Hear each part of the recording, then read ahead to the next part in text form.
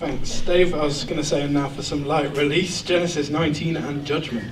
Um, so strap yourselves in. It's funny when I'm when I was first given this sermon and the passage, I put it in my calendar as um, Judgment Day, and this morning got quite a shock when my alarm went bloop Judgment Day. Um, so let me um, let me jump straight in. If you've been a Christian for any amount of time, in fact, even if you've not been a Christian, I expect you'll still agree with me on this point. Sometimes you read a passage in the Bible and it is just hard. It's hard to understand, it's hard to agree with, it's hard to believe, even sometimes. Um, it's just hard. Brace yourselves, we arrive at such a passage this morning. Um, and I just, I just want to say this out front, and, uh, uh, and before I do anything else, I really love the Bible. I really do. Think it's, it's the most excellent book ever written. Um, it, I, I actually see it as kind of my number one calling in life, above and beyond anything else that I might do in my life to help people to fall in love with this book because it has transformed me. It has transformed millions across the world. I want to help people fall in love with this book, some for the first time, some more in love, and that's kind of my goal this morning, even preaching through such a difficult passage. It's actually my primary source of authority on all things in life. Everything. The Bible determines what I believe about everything else. It's where I go to, it's my baseline. If I need to know the truth on an issue, if I'm presented with some information that I've not heard before, I weigh it, I test it, I view it through the lens of this book. And I'm just putting my cards on the table. I am Bible big. I love it. I think it's great. I'm literally big as well. I'm as big as the Bible. I, am a maximalist when it comes to the Bible. This is my source of authority. And that's not to say that I'm not influenced by other things. You know, I'm in touch with culture. I get things that are going on and I try and understand them. But this is where I go to. The Bible is where I go to to understand those things. So if my heart, if my gut instinct when I'm reading the Bible tells me something, if, it, if I feel something, maybe it's a negative emotion, maybe it's unbelief, maybe it's doubt, what I do is I scrutinize that emotion through the Bible and through the truth that I know in the Bible. And I believe every word in every verse in every passage of the Bible is suitable. The Bible actually says it's profitable for teaching us about who God is and what He's all about. And so I'm not going to shy away from this passage this morning and digging below the surface of the passage and addressing some of the things that this passage talks about. As a church, we've been working our way through a sermon series on the first book of the Bible, the book of Genesis, and the story of Abraham and his life. We've called it a journey of faith. And that's largely because the main theme of Abraham's story is just that it's a journey he takes by faith. And as a leadership team, the community church, we're really believing that God will use this incredible story of faith to shape and transform us here to be a people who journey with faith in this new season of life post COVID, even with the news that we face at the minute.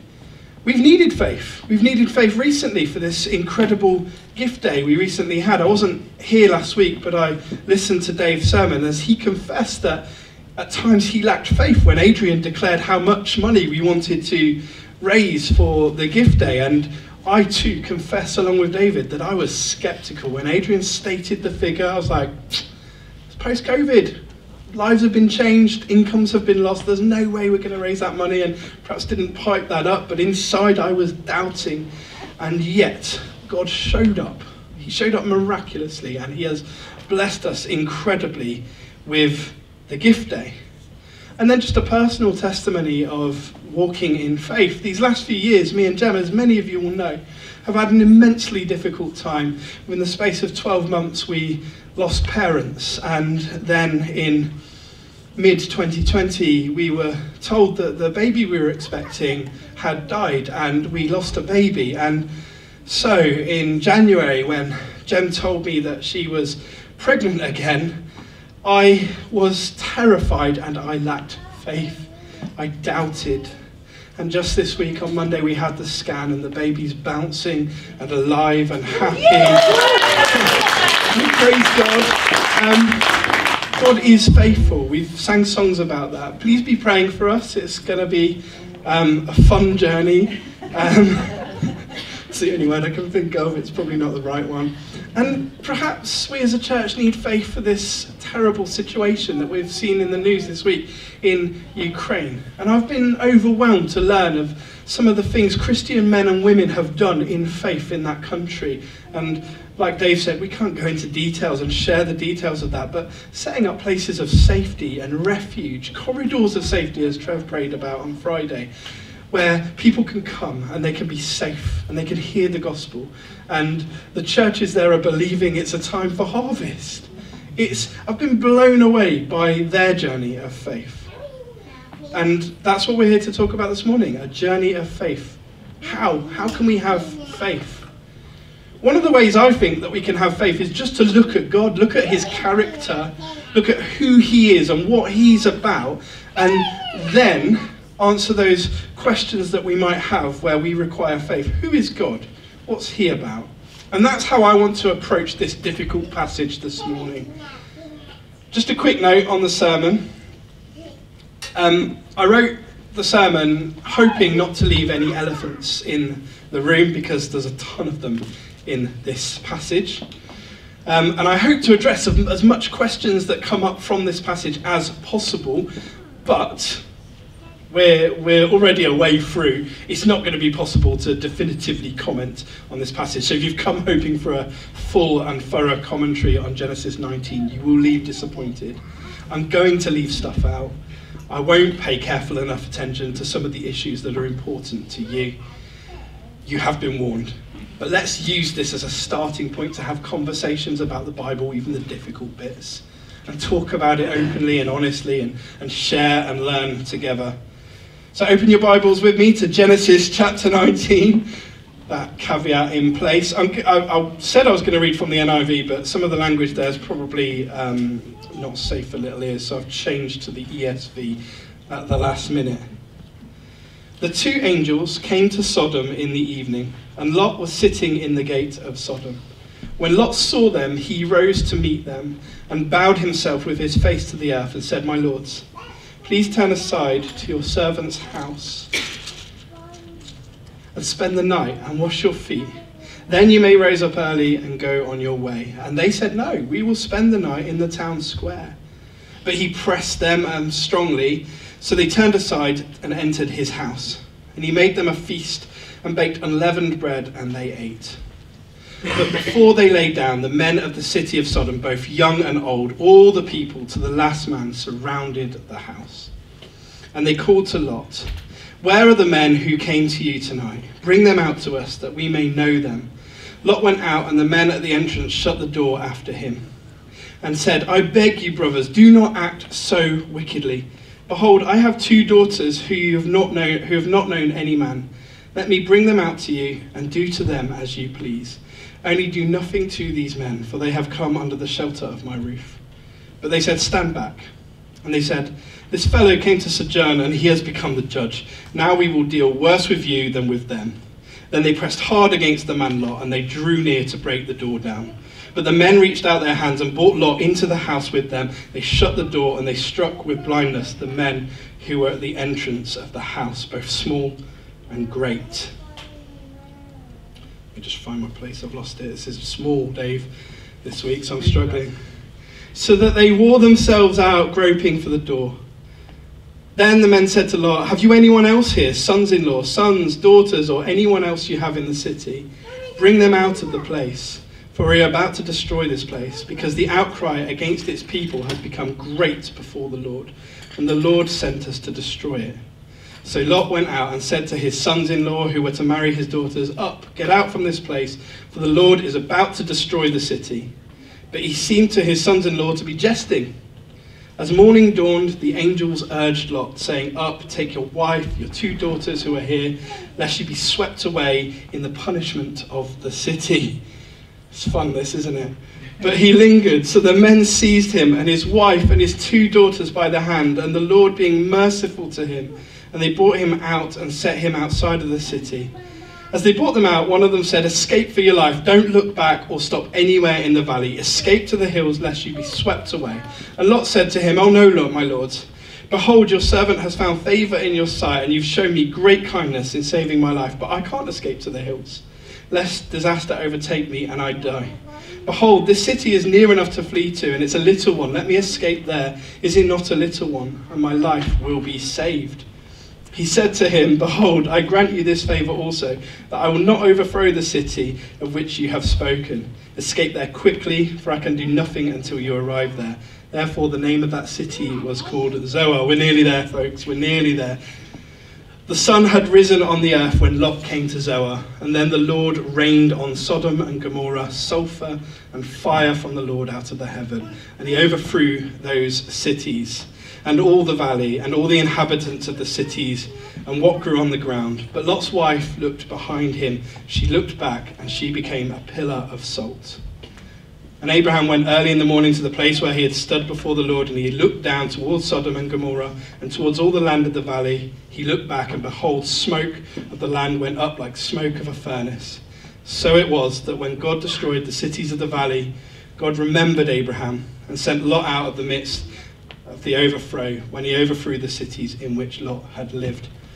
Um, I'm going to stop reading there. There is another passage that I will address in my sermon. I'm just aware of the time and it's difficult reading that out loud. I'm just going to be honest. So let me pray quickly and then we'll look at that in some more detail.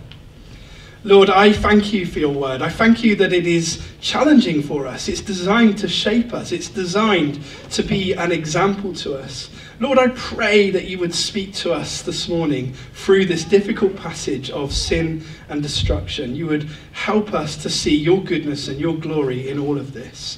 In Jesus' name, Amen. So here's a few questions that immediately sprang to my mind, and I'm just going to say them as they are when I sat down to study this passage in prep for this sermon. Why did Lot offer up his daughters to the lustful men of the city?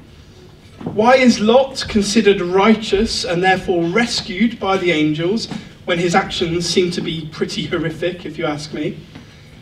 Why didn't God just leave Lot's wife alone? What's wrong with her looking back? What does this passage teach about sexuality and sexual ethics?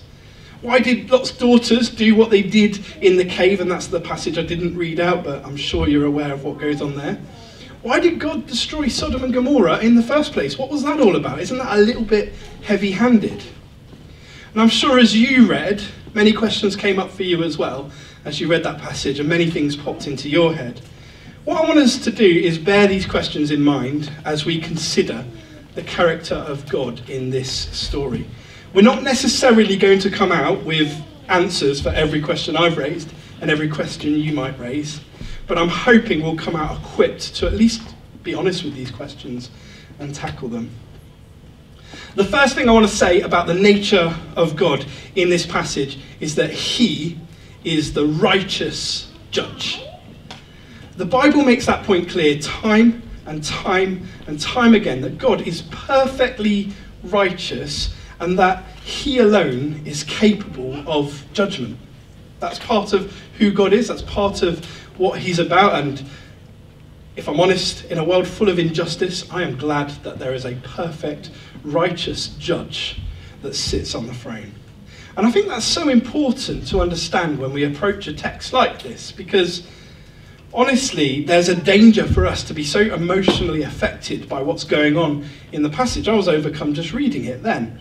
That we can impose our emotions and our emotional morality on the text and on God, and we can, we can kind of judge his actions.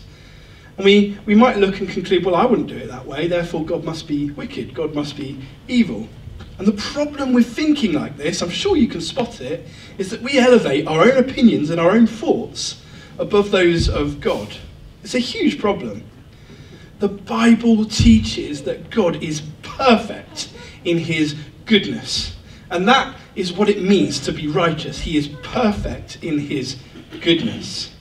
And the Bible also teaches that because God is perfectly good, he determines what is good and what isn't good. He gets to choose. He can judge the whole world because he's the only one perfectly good enough to do it. And that means his judgments are always right, even if we don't feel like they are. In his righteousness, God determined Sodom and Gomorrah needed to be destroyed and the inhabitants in it needed to be destroyed. I'm not going to apologize for that, that is just the truth. In his righteousness, that was what God determined. But in this decision, we actually learn something else about God's character, and it is massive. It's enormous. Think back to last week when Dave took us through Genesis chapter 18. In 18, we get this discussion between Abraham and the angels and God himself about how God should deal with the outcry against Sodom and Gomorrah. And Abraham challenges God's decision to destroy the cities in his wrath. And Abraham says, What if you find someone that's righteous in that city? And God humours Abraham a little bit and he says, Okay, I'll send my angels there. We'll see if we can find some righteous people in the city. And they come to Lot. and I, I have to laugh. They come to Lot, a man by all human understanding of the word righteousness doesn't fit the bill at all. I mean, we've learnt a lot about Lot. He doesn't really seem very righteous to me. And they choose to save him and those associated with him from the destruction because he's righteous. And I just want to ponder that in a little bit more detail because I don't know about you, that causes me to scratch my head a little bit. It feels contradictory. Peter, a disciple of Jesus, wrote in the book 2 Peter chapter 2 verse 7 that Lot was rescued because of his righteousness. Biblical fact, Lot was saved because of his righteousness. And I believe this to be true. I believe Peter was writing down biblical fact. There's some stuff in this passage that we've got to contend with, right? Why would a righteous man offer up his virgin daughters to be, you know what happened? Uh, you know what he offered them up for? How is this the actions of a righteous man, a righteous father? I'm a father. That sickens me to my core It doesn't feel very righteous. So far, in fact, Lot's actions have looked far from righteous. He went his own way from Abraham. He chose to reside in a sinful and wicked place, the city of Sodom. And now, this, he offers up his own flesh and blood. And let's say we found a way to justify Lot's actions. Let's say we found a way to say he was a really good guy. Just pretend with me for a second. How then do we hold in tension that with this other biblical truth that we find in Romans chapter 9. There is no one righteous, not even one. There is no one who understands, no one who seeks God. All have turned away, and he goes on and on to say, There is no one righteous. Big questions we're asking this morning, right? They're huge. Okay, which one is it? Is Paul right, or is Peter right? Was Lot righteous, or is there no one that's righteous? How do we weigh those things together? How do we hold them in tension? And how do we bring in our own kind of gut feelings about who Lot is into that? How on earth do we deal with this? Honest question, right? Well, that's why I wanted to look at the character of God this morning. Because with that perspective, what do we learn about God here? Rather than what does this passage teach us about humanity? What is it? What, what's, what's in it for me? Let's think for a second what does this passage teach us about God? And we learn something spectacular about God in this. We learn that He is first made merciful, and secondly, He is gracious. And these are two of the most important attributes of God that you will find in the Bible. Because they don't just play a role here in the life of Lot, they are crucial to our position before God as well. You and I this morning, how we sit before God, what God thinks of us, is dependent on these attributes. Firstly, then, God is merciful. By the way, just because the Bible records something as having happened, like we read here, despicable stuff, doesn't mean it condones what happens. I don't want you to leave here thinking God condones Lot's actions. He doesn't. Lot's behaviour, as you might have guessed, is disgusting. It's wrong on every level and is not in any way, shape, or form righteous. Lot isn't righteous, he is sinful. Equally, his daughter's behaviour in the latter parts of the chapter, in deceiving Lot and committing incest, that too is sinful and unrighteous. God could have destroyed Lot alongside the cities of Sodom and Gomorrah, and to be honest, I'd have been perfectly morally happy with that. It's a kind of reasonable thing for a good and righteous God to do, to destroy Lot. In fact, God could choose to do that to us right now. He could. Because sometimes, and this is going to be hard for everyone to hear, it's hard for me to hear. Sometimes we like to think of ourselves, we look at people like Putin, we look at people like Lot, Hitler, and we think, well, that's obviously unrighteous. That's obviously bad. Shame on you, but I'm British. I'm reasonably good. I might have told the odd lie or whatnot, but I'm, you know, I'm not that bad. That's not true. We all, before God, face the same fate. We are all deserving of His wrath. We deserve His judgment on us. But God spares us and he spared Lot. And that's what mercy is it's sparing someone from the punishment they rightfully deserve. And then, secondly, God is gracious. This is how we reconcile that tension between Peter declaring Lot as righteous and Paul saying no one is righteous. We hold these things together because God is gracious. God doesn't just spare people from what they deserve in His mercy, He also gives people what they don't deserve. God imputes, He gives to Lot His righteousness. Lot is spared and considered righteous, not because of Lot, not because of who Lot is or what Lot is about, but because of who God is and what God is about. And that is the central point of the Christian faith, too. I often hear well meaning Christians say things to people with low self esteem, saying things like, You're enough. You are perfect to God. And there's good motivation behind that. I don't want to attack the motivation. But it misses something. There's a famous Christian song that we all sing called Amazing Grace. And that better describes our condition before God. We are wretches, it says in that song. Saved a wretch like me. That's who we are in the eyes of God. We are wretches. We're not worthy of his affection. We're not worthy of his love in and of ourselves. And I know that can sound harsh and offensive. It, it, sounds the same to me. I'm not trying to sort of be a bit holier than thou. It sounds the same to me. It's, it's abrasive. It makes me feel a bit uncomfortable to think I'm not worthy in and of myself. But it's the truth. We're not good, not really deep down inside, we're all broken, we're all flawed, we're all imperfect. Because of who we are, what we do, the things we think, even the things that we wouldn't admit to anyone else, we deserve God's hatred and his wrath. But because of who God is, he has spared us from that in his mercy. And he's forgiven us from that. By his grace, he's given us a new identity, a righteous identity.